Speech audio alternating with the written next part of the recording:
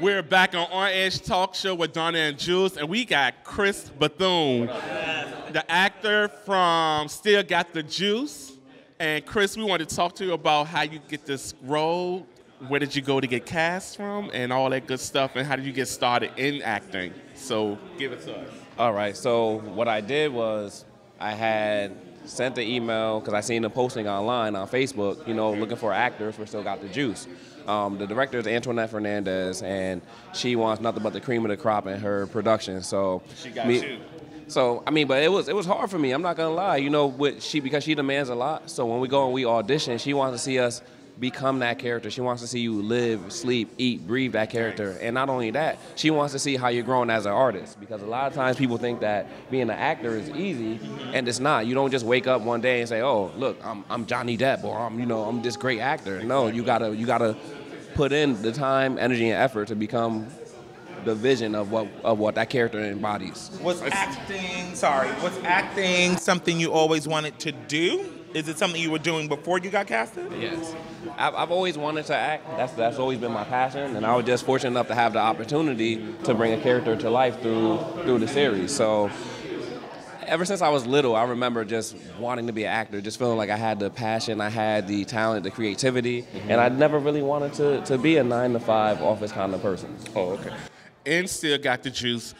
Who's the character you play, and how did you had to get yourself prepared for that role? All right, so the name of my character is Stacy Peterson.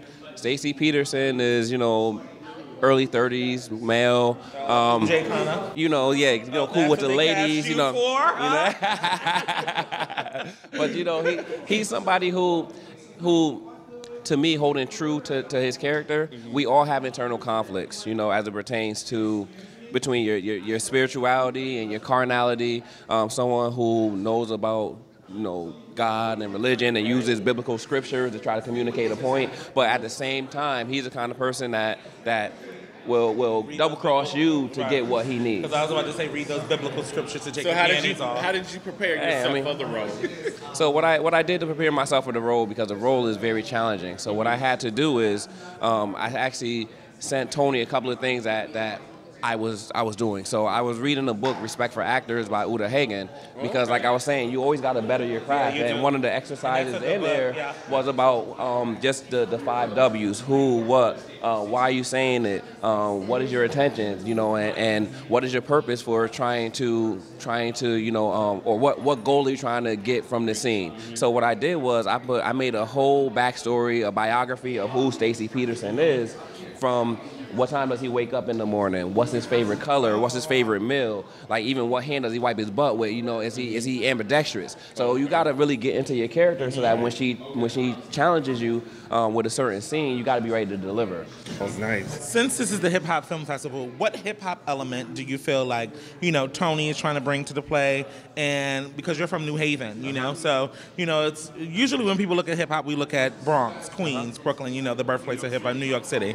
What does New Haven hip hop scene? Uh-huh. What is New Haven's hip hop scene like? And what did you borrow from that to bring to your character? Man, we have a lot of hip hop in New Haven, and sometimes people forget that even people like Special Ed was in New Haven. So before people came, before here. people, yeah, before people came, yeah, made. yeah, you know, bum, bum, uh, Yeah. Uh, I'm your idol, your highest idol, numero uno. I'm not a Puerto Rican, but I speak in that's the only one, though. But you know, but, but, but before, but before Apollo was big, people had to come and make it in New Haven. You remember Toad's Place? Everyone comes Yeah, to Toad's Place. So everybody used to you know, Connecticut a lot to play. so even that. So when I think about Stacy, I think about Big Daddy Kane. I think about you know some Kool G Rap. I think about KRS One. Someone that's gonna that's gonna spit some knowledge to you Exactly. and still you know come with the LL. When I'm alone in my room, you know when you're talking to the ladies, you know what I mean? He really think he the uh, of the movie. Tell him, uh, yeah. What do you want to happen for you? I always ask people this question because you know you can leave here tomorrow and go straight to a Spike Lee movie or a Tyler Perry or anybody else like that. What do you want to happen for you and Still Got the Juice in the near future? So the best thing about working with Still Got the Juice is we have a story to tell.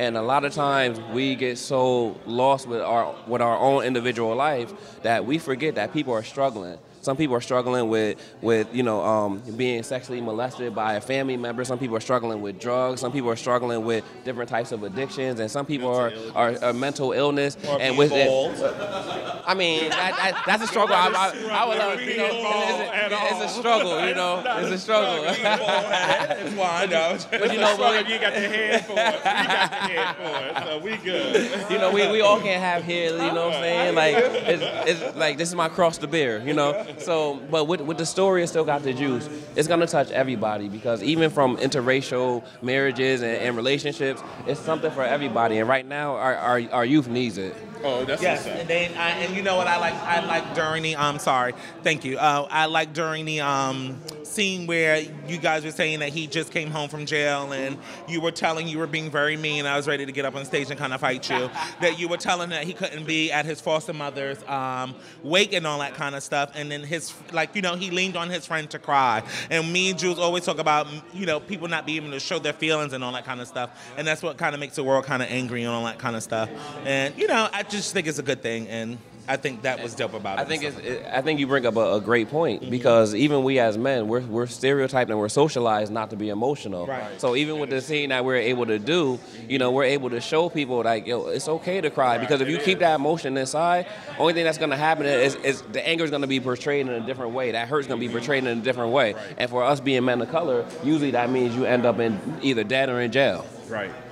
Well, Chris, it was a blessing to have you on this show to t- tell you about you know your acting and with the movie in. Let people know where they can reach you at. They can check you on IG, Facebook, or any type of social media.